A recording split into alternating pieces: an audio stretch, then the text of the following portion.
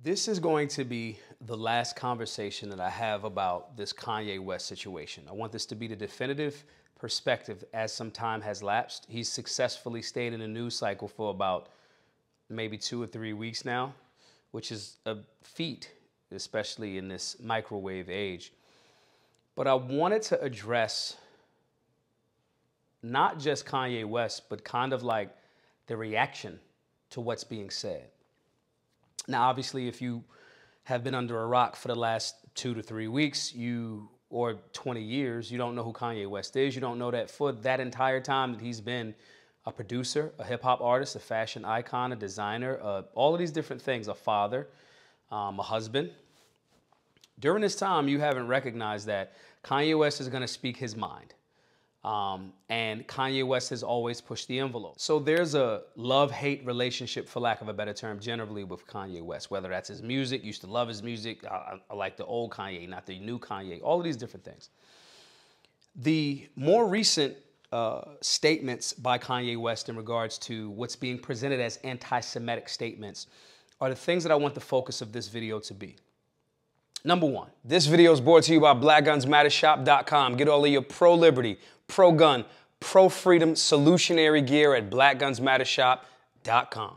Anytime that you are critical of a group of people, there is a chance that that group of people, especially if they have power, um, whether that's false power or real power, they can organize to try to get you so called canceled we're actually seeing this in real time right in front of our eyes. Now, the statement that Kanye West made, I want to deal with the things that I disagree with first. I disagree with Kanye West's generalization of Jewish people. Now, obviously, he may have clarified that since then, but I, am always cautious when we are generalizing an entire group of people. And you may that may not be your intent, but if you're not very specific and articulate with your words, that broad brush can be used not only to paint you in a bad situation, but also to try to hide what you're the truth of what you're actually saying. Now, obviously, Kanye West is saying that there's a Jewish community that are high up in fashion and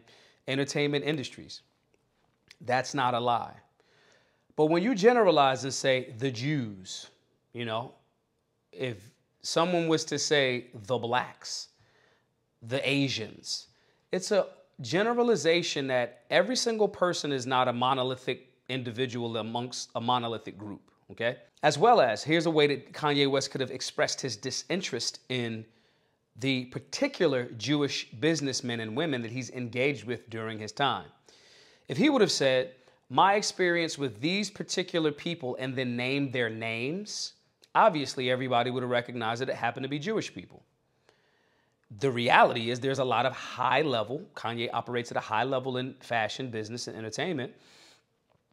There's obviously Jewish executives at these high levels. Then, what he's saying about the individuals that he's engaged couldn't be denied.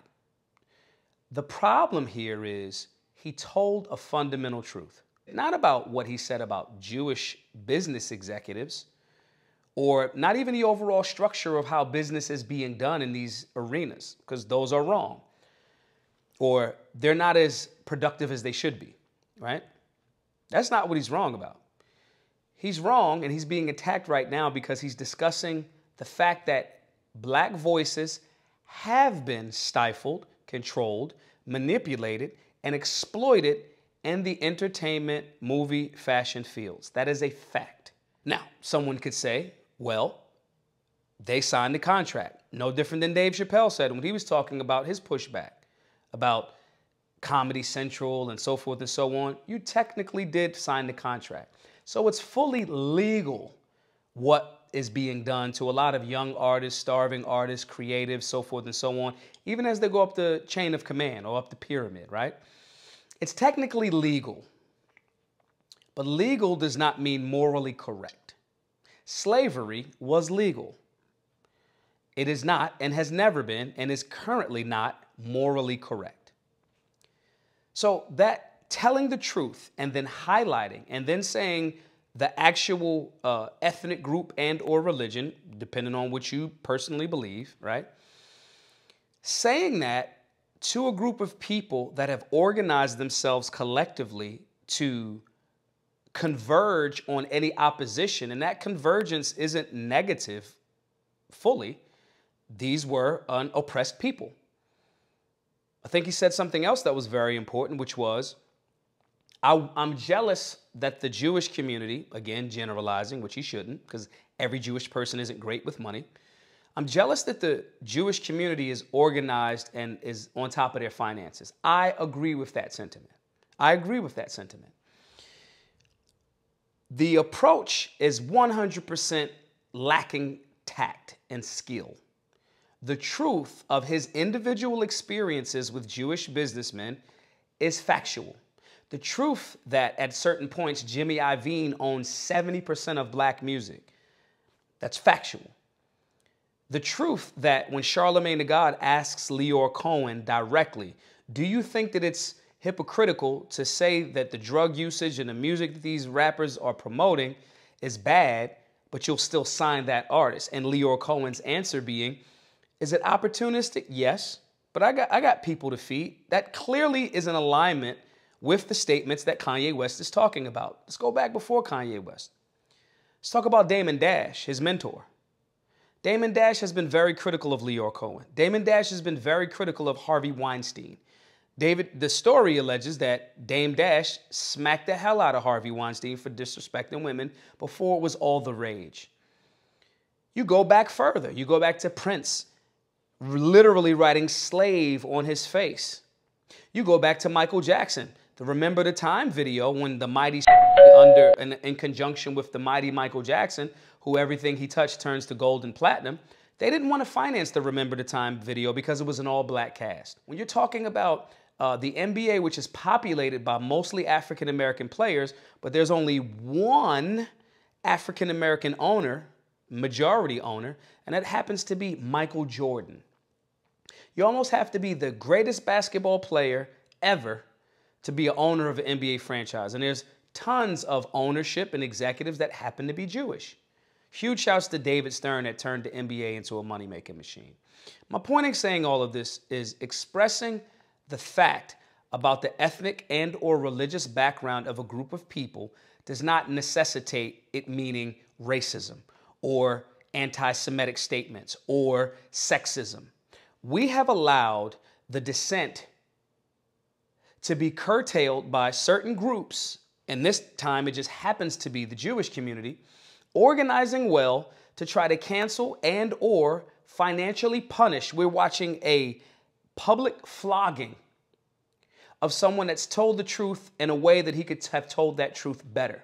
Let's go back further. Let's go back to the statements that Malcolm X said about the Jewish community in the 1960s. Oh, I think this that in this country, there's one mistake that the Jews make. Uh, they put themselves in a position where whenever anybody gives an objective analysis of the role that they play, uh, they defend themselves by accusing you of being anti Semitic. This was in the 1960s, okay? That is a tactic to try to shun someone from having a legitimate critique. I do not think that Kanye West has a uh, thorough handling on articulating this point thoroughly. I think he's frustrated. I think he's back and forth in some areas. In some other areas, he's completely wrong. He's completely wrong about George Floyd dying from fentanyl or He's completely wrong by repeating stale and incorrect right leaning talking points. He's completely non empathetic, making shirts saying white lives matter with the Pope on the front of them. In my opinion, the beautiful thing about that is I get to have an opinion. And the fact that I'm saying Kanye West is not spewing anti Semitism, Kanye West is frustrated and is all over the place. There's a lot of people that have streams of thought and it comes off scatterbrained.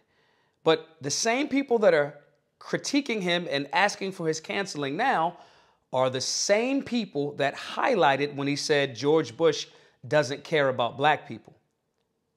This is the same person that at certain points, the people that are now championing him a while back said he's wrong because he said slavery is a choice. I think the bigger issue here is twofold. One, how soft we have become as Americans that we are calling everything racism, sexism, anti Semitic statements without listening to unpack what the person is actually saying.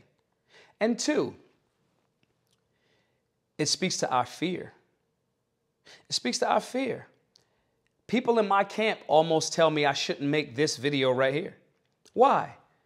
My Jewish friends, when I have a genuine conversation with them, had a 30 minute conversation with the Pew Pew Jew, Yehuda, who's a friend of mine. We've known each other for years. He expressed his perspective where the approach could have been better.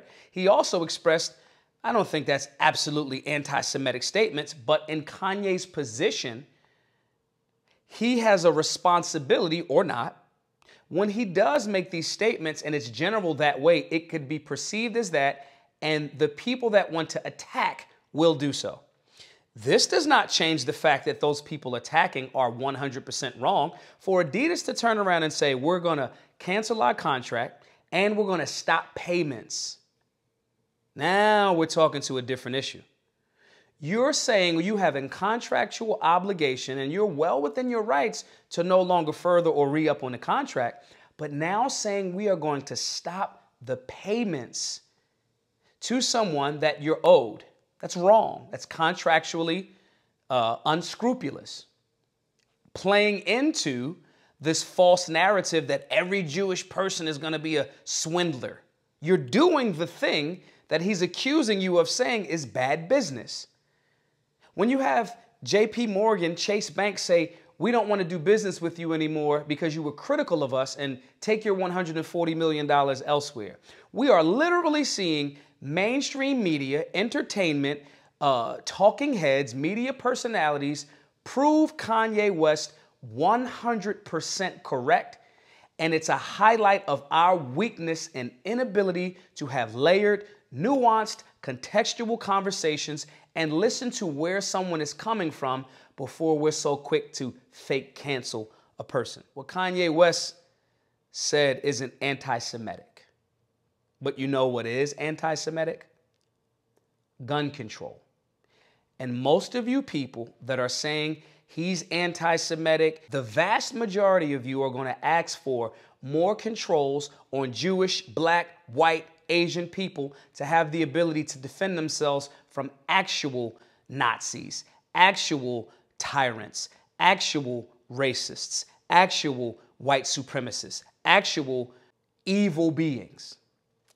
Take a moment, look at your overreaction to a statement, and ask yourself Have I actually tried to hear this person? And where else am I doing that in my life? Be safe, be solutionary.